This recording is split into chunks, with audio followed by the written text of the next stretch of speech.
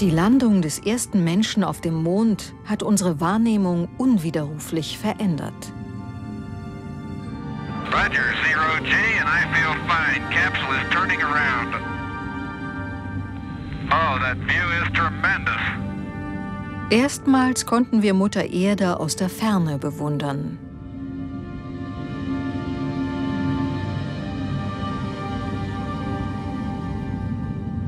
Diese Aufnahmen machten uns bewusst, dass unser blau-weißer Planet ein einzigartiger Teil des Weltraums ist. Dank moderner Teleskope, die uns weit über unser Sonnensystem hinausblicken lassen, erkennen wir allmählich, dass unsere Welt zu einer stürmischen und dynamischen Galaxie gehört.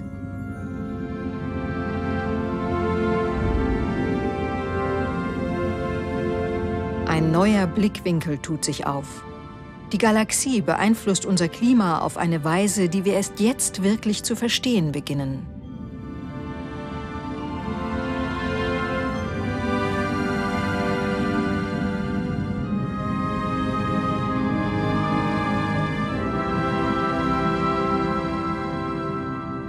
Der dänische Physiker Henrik Svensmark arbeitet seit über einem Jahrzehnt an einer neuen Klimatheorie, die unsere Sichtweise des Klimawandels verändern wird.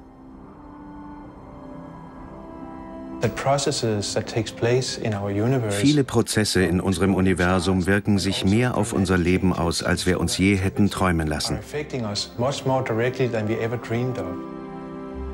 Wir begleiteten Svensmark bei seinem jahrelangen Kampf um Anerkennung.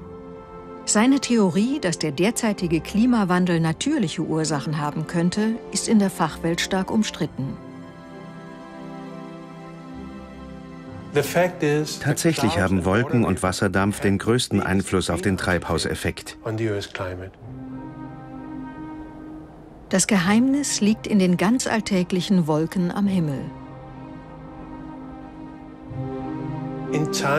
Während heutzutage überall von Kohlendioxid die Rede ist, ist der Klimawandel größtenteils auf die Wolken zurückzuführen.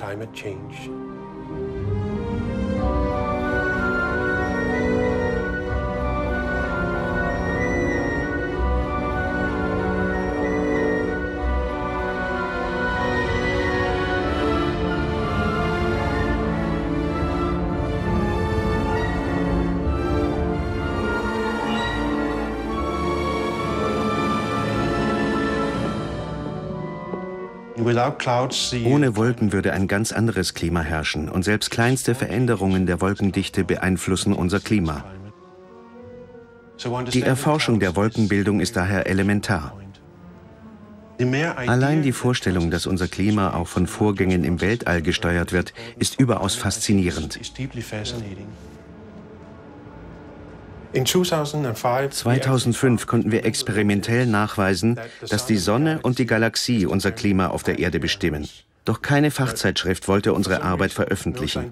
Für mich und mein Team war das eine große Enttäuschung. It was a big disappointment for me and my team.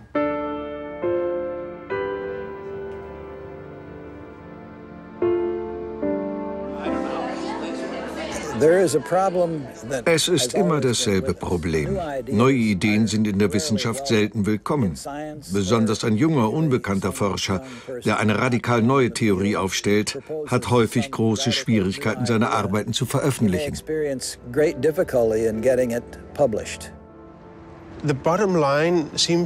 Bisher ist man davon ausgegangen, dass Wolken das Ergebnis des Klimas sind. Doch das Gegenteil ist der Fall. Das Klima ist das Ergebnis von Veränderungen der Wolkendichte.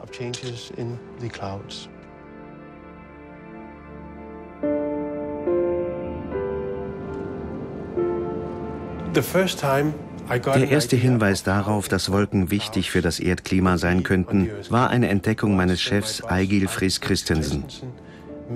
Er stieß auf eine perfekte Korrelation zwischen der Sonnenaktivität und den Temperaturen auf der Erde.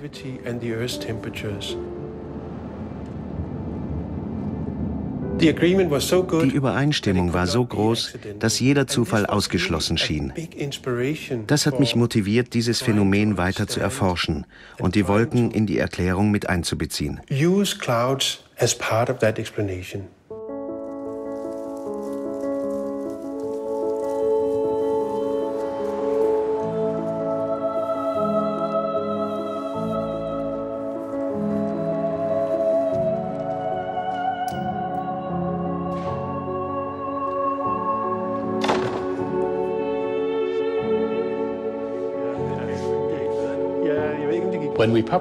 Als wir unsere Ergebnisse 1991 veröffentlichten, galt vor allem der steigende Ausstoß der vom Menschen produzierten Treibhausgase wie CO2 als Ursache für die Klimaerwärmung der letzten 100 Jahre. Als die Fachwelt dann diese perfekte Korrelation zwischen der magnetischen Aktivität der Sonne und den Temperaturen sah, waren alle sehr überrascht.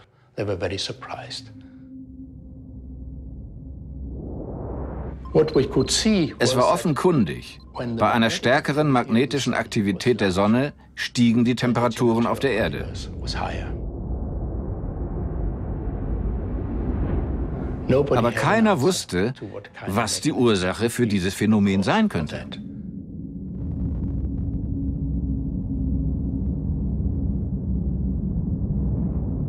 Wir wussten, dass die magnetische Aktivität der Sonne einen direkten oder indirekten Einfluss auf das Erdklima haben musste.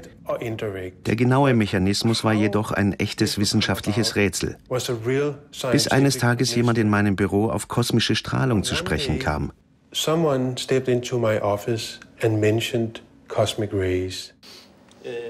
Bei der Erwähnung der kosmischen Strahlung erinnerte ich mich sofort an ein Experiment, das wir in der Schule in einer sogenannten Wolkenkammer durchgeführt hatten. Diese Wolkenkammer war mit supergesättigter Luft gefüllt. Nun Schwebeteilchen hindurch entstand eine Kette von Tröpfchen, wie eine kleine Wolke. Mit diesem Bild im Kopf dachte ich, was, wenn kosmische Strahlung zur Bildung von Wolken führt? Und was, wenn die Sonne mit ihrem Magnetfeld die Wolkendichte auf der Erde beeinflussen kann?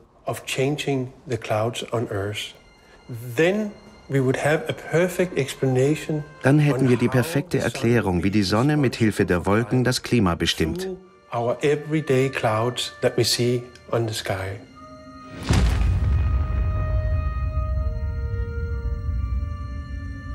Kosmische Strahlung kann man nicht sehen oder fühlen, aber sie entsteht immer, wenn ein Stern bei einer Supernova-Explosion stirbt.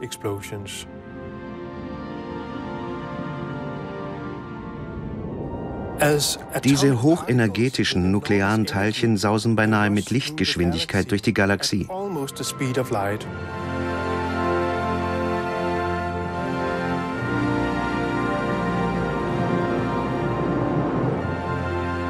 Und treffen auch auf die Erde.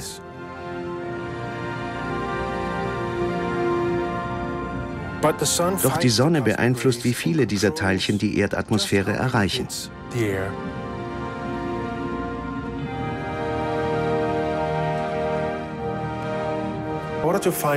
Um herauszufinden, ob die kosmische Strahlung sich auf die Wolken auswirkt, begann ich Daten auszuwerten. Ich sammelte Satellitendaten über die Wolkendichte in der Atmosphäre und verglich sie mit Daten zur Intensität der kosmischen Strahlung. Ich stieß auf eine perfekte Korrelation, deren Klarheit mich sehr überraschte. Die rote Kurve zeigt die unterschiedliche Intensität der kosmischen Strahlung und die blaue Kurve die Wolkendichte.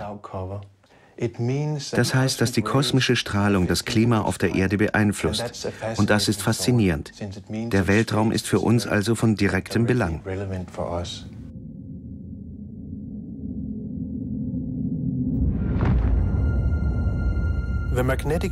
Das Magnetfeld der Sonne hat sich in den vergangenen 100 Jahren mehr als verdoppelt. Dadurch gelangte weniger kosmische Strahlung in die Atmosphäre und es bildeten sich weniger Wolken.